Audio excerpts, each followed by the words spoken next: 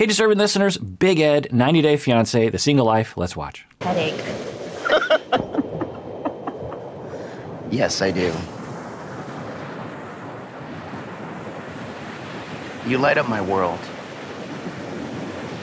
So, will you move in?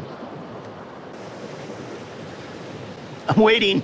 So, the hypothesis that I've been trying to gather data around is how well Liz understands herself and understands what she needs and is differentiated enough to evaluate the best course of action given her, you know, given the circumstances of her life.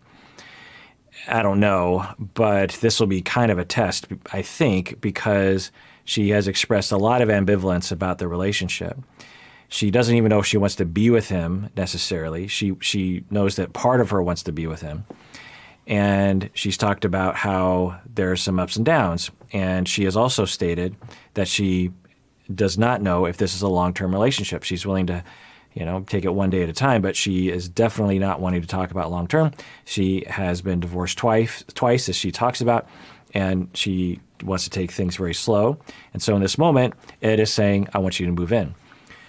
I suspect that if we could really talk with her, you know, take a time out and say, let's talk about this, you know, what do you want? I'm guessing if she had the space to really think about it, she would say, well, I'm not opposed to moving in with him eventually, but now is not the time. Uh, this is way too fast. So maybe in the future for sure, but but not now. I mean, why? You know, we're we're having a good relationship. There's no reason to do that, and I'm not comfortable with it. It didn't occur to me. So the only reason why I'd really be rushing this is because I'd want to be pleasing him, and I don't think I should be doing it for that reason. I, am just going to take a guess and say that that's what she would say, but let's see what she tells Ed in the presence of him in this moment. Thinking.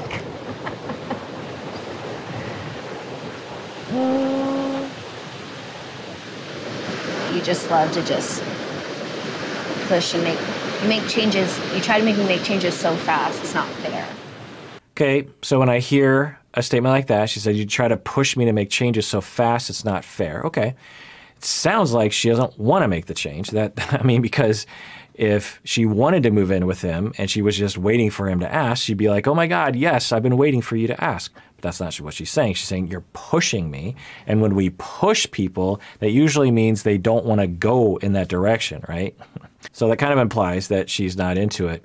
But you know, it's also a good thing to say, just like, look, you're you're really pushy, and it really puts me in a weird position. But let's see what Liz says, because again, I'm guessing if she were not around Ed, she would say something like, "No, I don't want to move in with the guy. We're just dating right now. I really have no idea if I want to see him in a month, let alone move in with him, especially with my child."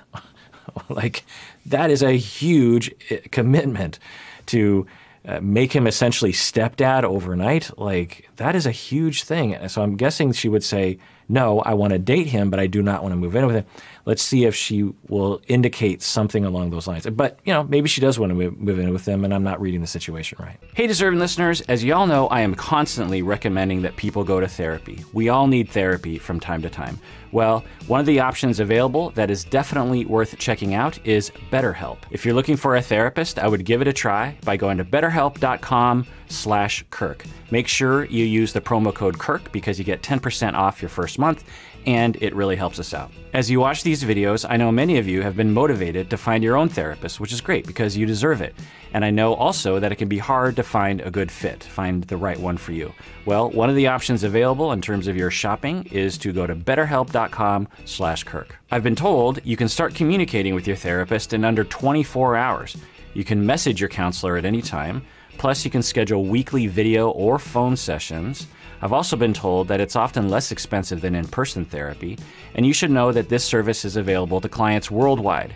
So go to betterhelp.com slash Kirk to get 10% off your first month today. But yes. Well, that makes me happy. Yes. Okay. So maybe I was reading it all wrong. Uh, what do I know? I thought she would say no. Well, okay, what I thought, okay, so, so there's two possibilities. One is that I'm completely reading the situation wrong, and she all this time has been thinking about moving in with him, and was much more ready for this than I thought she was. Maybe she's like, well, maybe, you know, maybe not. I wasn't thinking now, but I was thinking in a few months. So she seems to be indicating that. So that's one possibility. I'm not reading it right, which, of course, how could I? Because I'm just watching this edited show. The other possibility is that she actually is extremely ambivalent about this move, but because she's in the presence of him, she has a hard time getting in touch with her needs and her emotions and how she feels and the, the red flags that maybe she's noticing. And she just says yes because she wants to please. Who knows? So, can we go pack your stuff right now?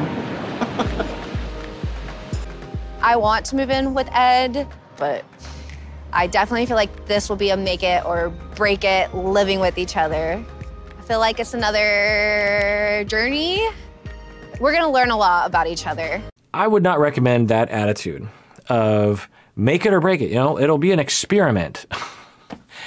and I'm bringing my child. Isn't Riley her child? So I'm going to bring my child.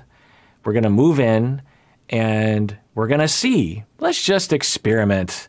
I would not recommend that you experiment in that way. Right now, I want her to move in. I want um, her and I to continue to work on our communication and commitment issues. And then when it feels right, then I'm a, I want to make my move. I want to propose. You want to arm wrestle? Sometimes you should just not talk. So that's another potential hallmark of pursuer distancer preoccupied avoidant dynamic where the preoccupied person will want to talk a lot and the avoidant person will just want silence. Not always, but it is another data point in our hypothesis data gathering process. All right, well, that does it for that episode. Everyone out there, please take care of yourself because you deserve it. You really, really do.